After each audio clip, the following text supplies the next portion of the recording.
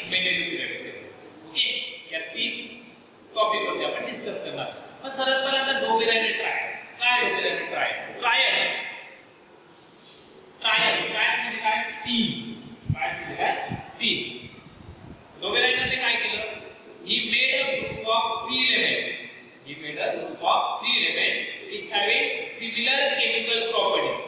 ज्याच्या chemical property सारख्या होत्या अशा तीन एलिमेंट्सचा त्याने ग्रुप तयार केला त्याला त्याने ट्रायल्स नाव दिलं काय नाव दिलं ट्रायल्स करते he made a group of three element which having similar chemical property एक गोष्ट क्लिअर झाली त्याने काय केलं किती गुणद्रव्यांचा गट केला किती एलिमेंटचा the group of three element is called triads त्यांच्या प्रॉपर्टी कशा होत्या सिमिलर केमिकल प्रॉपर्टी ओके कुठल्या बेसिस वरती तर ऍटॉमिक मास ऍटॉमिक मासनुसार त्याने काय केलं increasing ऑर्डरने he arrange the three elements increasing order of their atomic masses atomic masses नुसार इन्क्रीजिंग ऑर्डरने त्याने काय केलं अरेंज केलं आणि त्याला नाव दिलं ट्रायल्स काय नाव दिलं ट्रायल्स त्याला काय कळलं he show that the the atomic mass of middle element was approximately equal to mean of atomic mass म्हणजेच काय? मधल्या मूलद्रव्याचं अणुवस्तुमाने पहिल्या व तिसऱ्या मूलद्रव्याच्या अणुवस्तुमानाच्या सरासरी इतकं असतं. असं सिद्ध झालं. कोणी? डोबेरायनने कधी केलं होतं? अठराशे सतरा मध्ये आलं लक्षात? एटीन सेव्हन्टीन मध्ये डोबेरायनर जर्मन सायंटिस्ट त्याने काय केलं होतं? He made a group of three element having similar chemical property chemical property सारख्या असणाऱ्या तीन तीन इलिमेंटचे त्याने काय केले? ग्रुप केलं होते आणि त्याला त्याने ट्रायल्स म्हटलं त्याला काय कळलं he show that the mass of the atomic mass of middle element was approximately equal to the atomic mass of middle element was approximately to the atomic mass of first and last element म्हणजेच काय त्याने तीन element घेतले lithium sodium potassium याला नाव दिलं त्याने trials तीन elements केले ग्रुप ऑफ थ्री एलिमेंट मग मधल्या गुणद्रव्याचं अणुवस्तुमान पहिल्या व तिसऱ्या गुणद्रव्याच्या अणुवस्तुमानाच्या सरासरी इतकी असते कुठल्या मूलद्रव्याच्या अनुवस्तुमान हे पहिल्या व तिसऱ्या मूलद्रव्याच्या अनुवस्तुमानाच्या सरासरी हे असते. त्याचा ऍटॉमिक मास किती आहे? तर 6.9 किती आहे? 6.9 याचा ऍटॉमिक मास किती आहे? 39.1 इतकं आहे. Okay?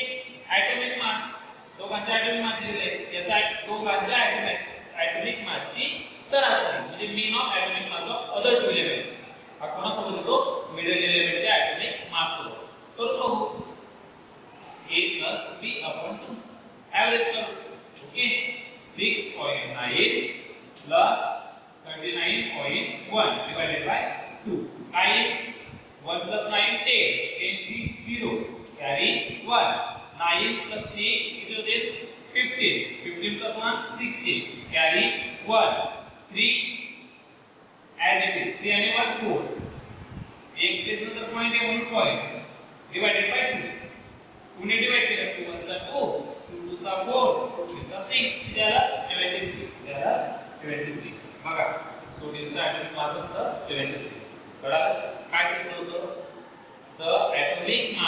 of middle element was approximately equal to the mean of the atomic mass of the other two elements. आलं लक्षात मधल्या गुणद्रव्याचं अणुवस्तुमाने पहिल्या व तिसऱ्या गुणद्रव्याच्या अणुवस्तुमानाच्या सरासरी हे असते.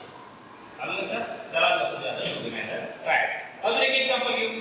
क्लोरीन ब्रोमीन आणि iodine chlorine bromine iodine atomic mass नुसार increasing order का दिसते का increasing order 6.9 त्यापेक्षा मोठा 23 त्यापेक्षा प्रमाण thirty nine point increasing order of their atomic masses असे अरेंज केले. त्यानंतर काय क्लोरीन ब्रुमिन आयोडीन तीन इलेमेंट घेतले.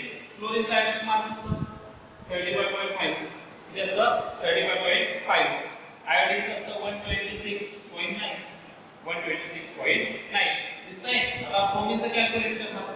बरोबर? पहिल्या तिसऱ्या मुद्रव्याच्या अणुवस्तमानाच्या सरासरी इतकी असते. पहिल्याचं किती आहे? क्लोरीनचं thirty five point five plus is uh, 126.9 divided by 2. Okay. 9 plus 5, 15. Carry 20. Carry 1. 6 plus 5. 6 plus 5, 11. 11 plus 1, 12. 22, carry 1. 2 plus 3, 5. 5 plus 1, 6. I have 1 as it is. This Is it another point? 1, 1. One sixty two point four divided by two two वनचा two two एटचा sixteen two वनचा one two टूचा four one plus नंतर point किती आलं? Eighty one point two किती mass आलायचं eighty one point two आता ब्रोमेनचं ब्रोमाइनचं ऍटोमिक मास असतं seventy nine point nine seventy nine point nine आणि आपलं किती आलं? एटी वन पॉईंट टू म्हणजेच काय? ॲप्रॉक्सिमेटली इक्वल तर आपलं डेफिनेशनच काय सांगते लॉ काय म्हणतो ही array the group of three elements which having similar chemical property he arrange the element in increasing order of their atomic masses atomic masses नुसार increasing order ने आपण arrange केले होते we show that the atomic mass of middle element was approximately equal to mean of atomic mass of other two elements okay हा approximately त्याला जवळजवळ सारखं आलं आलं लक्षात हा जो आपला मेंटेटिव्ह सॉरी लोगेरायडर ट्रायस आलं लक्षात पुढचं Newlands laws of octaves Newlands laws of octaves काय? न्यूलँड्सने काय केलं होतं? सेम याने किती ग्रुप घेतले तर ग्रुप ऑफ थ्री एलिमेंट्स म्हणजे काय? ट्रायस त्याला ऑक्टोस म्हणतात. काय म्हटलं? ऑक्टोस ऑक्टोस म्हणजे काय? The group of eight element the group of eight element आपण बघतो आपल्याकडे संगीतामध्ये सप्तक असतं. काय असतं? सप्तक. सा रे ग म प ध नि सा. सा काय झाला रिपीट बरोबर सा रे ग म प ध नि सा म्हणजे काय आता? याने किती इलेमेंटचा ग्रुप केला? एट इलेमेंटचा group. कोणी? न्यूलॅन्स बरोबर?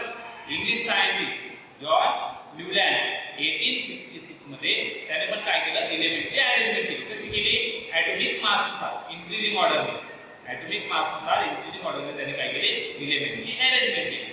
त्याला असं आढळलं की प्रत्येक आठव्या इलेमेंटच्या प्रॉपर्टी या पहिल्या इलेमेंट सारख्या होत्या येते का लक्षात? एव्हरी एक element has similar first every एक element has similar property to of the first प्रत्येक आठव्या इलेमेंटच्या प्रॉपर्टी या पहिल्या इलेमेंट प्रमाणे होत्या हा लॉ होता न्यूलँड्स लॉज ऑफ ऑक्टूस लक्षात?